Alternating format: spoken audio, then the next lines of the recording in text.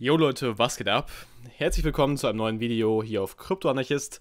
Der Preis von XRP ist bei 47 Cent ungefähr, 3,5% nach oben. XRP ist heute der Top-Gewinner des Marktes in den letzten 24 Stunden. Kein anderer Coin ist so weit gestiegen. Generell sind auch einige Coins wieder eher grün und die meisten haben da auch über 1 bis 2% zugelegt. Also von daher wieder ein wenig bullischer für die meisten Leute. Der erste Tweet für heute kommt von Ripple selbst und hier geht es einmal um Monica Long und sie spricht einmal mit Coindesk, eine große News-Plattform, über den sogenannten First Mover, äh, beziehungsweise in dem Format First Mover darüber, wie Ripple die Metaco-Aktien gekauft hat, beziehungsweise wie sie die Firma eben aufgekauft haben. Das Ganze ist nach wie vor ein spannendes Thema und ich bin mal gespannt, wohin das Ganze noch weiter führen wird. Hier gibt es zumindest ein paar weitere Informationen, also ein 10-Minuten-Video ungefähr. Wer da ein bisschen was noch sehen möchte, findet das hier auf jeden Fall. Und wir sehen bei The Block auch, dass Ripple aktuell sehr viel aufkauft, beziehungsweise einfach nur kauft auch. Sie haben zum Beispiel auch einen Teil von dem Crypto-Exchange Bitstamp gekauft. Und das ist natürlich alles eine große Verbindung, sage ich mal. Denn in Zukunft wird man natürlich deutlich mehr in Richtung ja, Market Making wahrscheinlich einfach reingehen. Im Endeffekt soll ja Ripple die Brücke sein, beziehungsweise will Ripple die Brücke bilden, die es ermöglicht, verschiedene Währungen ineinander zu tauschen. Und das ist gerade bei Exchanges natürlich auch ein sehr, sehr großer Punkt. Von daher hier nochmal auch sehr, sehr spannend. Ripple kauft einen Teil von Bitstamp und somit können sie da weiter zusammenarbeiten, beziehungsweise noch enger zusammenarbeiten. Ne? Wenn man natürlich da Anteile und äh, Aktien besitzt, dann ist es natürlich nochmal umso interessanter, da eine tiefergehende Partnerschaft einzugehen. Natürlich bleibt es nicht nur dabei, sondern sie haben ja auch schon verschiedene andere Firmen genannt, die auch dann wieder darum investiert haben und da involviert sind und so weiter. Also ich glaube, ihr könnt sehen, das ist ja ein Riesennetzwerk, sage ich mal, was sich hier gerade spinnt. Und das finde ich auf jeden Fall sehr, sehr spannend.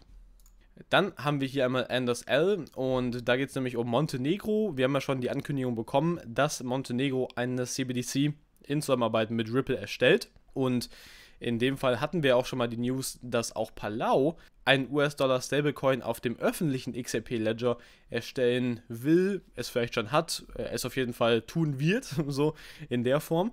Und hier ist jetzt so ein bisschen die Spekulation, ob Montenegro groß genug ist, also genug Power hat nach außen, dass sie ihren eigenen privaten Ledger dafür verwenden werden, also eine Art XRP Ledger Fork zu einem privaten Ledger umwandeln, um dort drüber dann ihre eigene Währung laufen zu lassen, oder ob sie auch sagen, hm, okay, lohnt sich wahrscheinlich eher den öffentlichen XRP Ledger zu verwenden, weil man darf nicht vergessen, dahinter hängen natürlich auch immer die Transaktionsgebühren von XRP, ne, die sind natürlich sehr sehr klein, also ein äh, quasi 0,000001 XRP, wenn ich richtig liege, pro Transaktion. Sehr gering pro Transaktion, aber ihr könnt euch vorstellen, auch in Palau, äh, auch wenn da nicht viele Einwohner leben, werden natürlich tausende Transaktionen getätigt und das summiert sich dann schon in Summe auf jeden Fall. Das heißt also, in gewisser Weise führen solche Integrationen von CBDCs auf den Public Ledger natürlich auch dazu, dass die Deflation von XRP weiter zunimmt und das ist natürlich schon ein schöner Punkt. Von daher, da würde mich auch mal eure Meinung in den Kommentaren interessieren.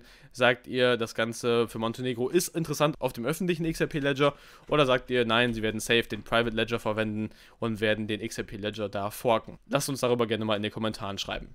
Und für alle Leute, die es damals auch nicht mitbekommen haben mit Palau, das haben wir hier einmal, also ein Stable Coin in der Case Study Successful Pilot. Also über 200 Leute da in der Republik von Palau haben das Ganze genutzt, ein Stablecoin. Und hier sehen wir nochmal, dass sie natürlich auch XRP verwenden, also nativ dafür. Das finde ich auf jeden Fall sehr, sehr interessant. Dann haben wir nochmal einmal Mr. Pool und zwar Ready. Also hier geht es immer um Ready, also ein bisschen mehr Riddler-Stuff.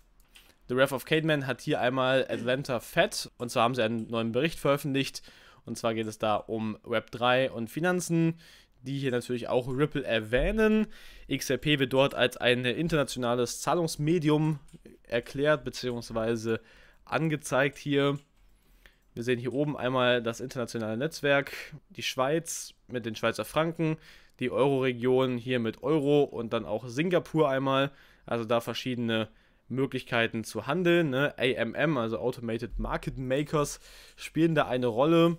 Die CBDCs, in dem Fall also hier einmal umrandet, sage ich mal, Internal Network und einmal hier oben dann die Plattformen nach außen hin quasi.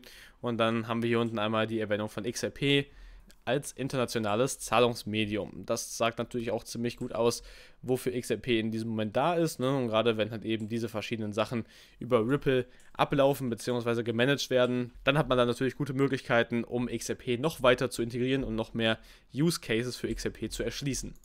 Und es gibt auch einige Meilensteine zu feiern. Hier haben wir zum Beispiel den 80 Millionensten Ledger, der dort geclosed wurde auf dem XRP Ledger. Ungefähr 10,5 Jahre hat das Ganze gedauert. Natürlich muss man sagen, die ersten Jahre waren mit Sicherheit eher schleppend. Ne? Also da war natürlich noch nicht so viel los. Und hier sehen wir natürlich dann die einzelnen Transaktionen darin.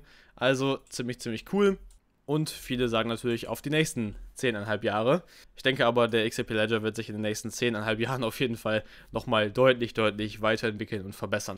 Dann haben wir Sam Lyman und da geht es so ein bisschen darum, dass aktuell ja, die XRP-Community eigentlich viel tut, um die Krypto-Community so durch die, durch die gerichtlichen Anforderungen so ein bisschen durchzutragen. Ne? Also ich sag mal so, es ist ja schon die größte Community, die hier was tut im Bereich der regulatorischen Klarheit. Ich glaube, das kann man ganz nüchtern erstmal so feststellen. Sehr viele Leute befassen sich ja gerade damit, ne? wurden auch zu kleinen Juristen natürlich dadurch. Ich sag mal, ich habe auch ein bisschen juristisches Fachwissen definitiv erlangen können, dadurch, dass man hier so verschiedene ja, Eindrücke bekommt, ne? immer verschiedene Dokumente liest und so weiter.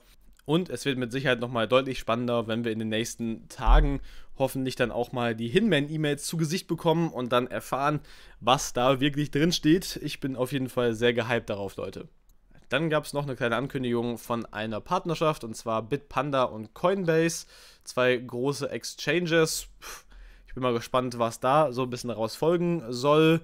Es geht da natürlich um Trust, Transparency, Security, also um Sicherheit, Vertrauen, Transparenz. All solche Sachen natürlich. Ne? Ähm, ja, also zwei Exchanges, die da zusammenarbeiten. Ich bin mal gespannt. Ich erwarte da jetzt nichts Großes. Aber es zeigt doch schon, wie verbunden da einige Firmen mit Sicherheit sind. Dann haben wir noch Barbe Kax. Brad Garlinghouse lässt uns wissen, dass es vorbei ist. Ne? Und zwar, hier hat er einmal ein Like gegeben. Und zwar zu Hunter Dixon. Denn der Tweet lautet: It's McCulver, äh, also halt ein kleines Wortspiel quasi mit dem Namen und halt It's Over. Das wird halt eben von Barbacax jetzt als It's Over interpretiert.